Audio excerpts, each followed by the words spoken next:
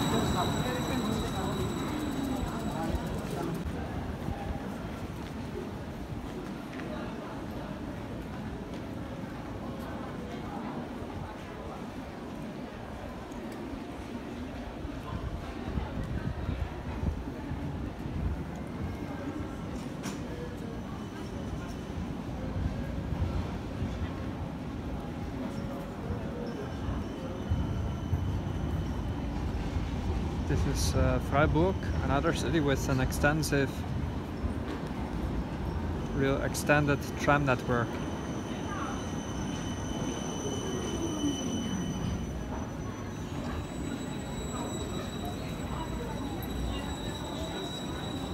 Not sure, but they look like the same trams they have in Amsterdam, except the colors are different. Just a beautiful city here. It's not that historical. I think a lot has been bombed, but I'm not sure. It's quite modern, but there are some old cathedrals, churches, whatever. So I'm just gonna explore. This is the Münsterplatz, with the Münster being the cathedral here of Freiburg. And this is the beautiful market square. This is the heartland of Europe, around the Rhine River. Lots of history and just relaxed southern mentality pace of life is pretty slow compared to more hectic cities in Germany. Here it's more uh, about joie de vivre, which comes from France, I guess. But the mentality is quite the same. Enjoying life, relaxing.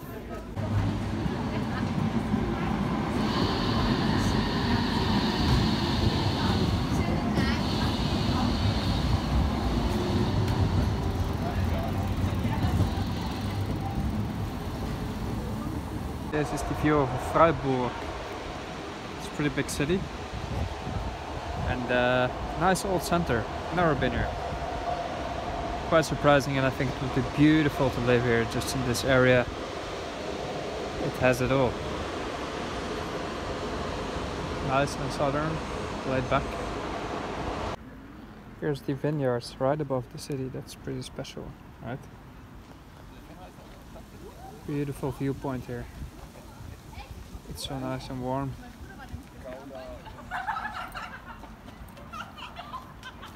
This is just the sort of